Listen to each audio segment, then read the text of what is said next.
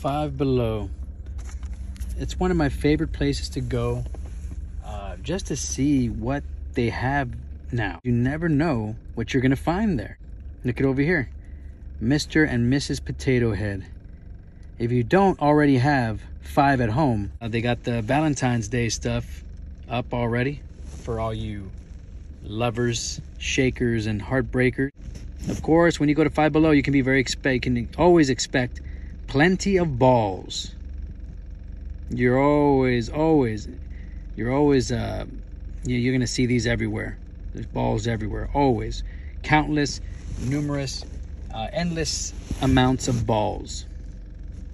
Everything's five and below, right? Let's hope. I mean, it is called Five Below. These are cool socks. And I also I also like the shirts they have there. Check them out.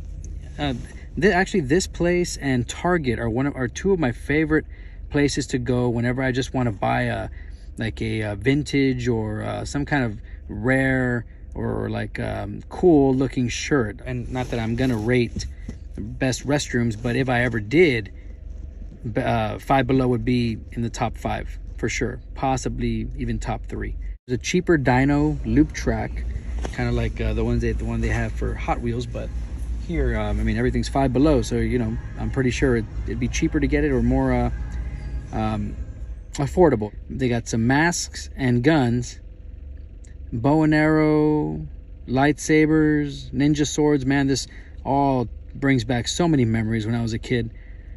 Uh, but today's highlight, by the way, would be these Funko. Uh, mini uh, collectibles. So we got Ninja Turtles and we have the Spider-Man ones. And my son Dante, all my sons would like would be happy to know they also have these FNAF or Five Nights at Freddy's um, Funko Racers. Just they look just like the you know those Super Mario Kart one.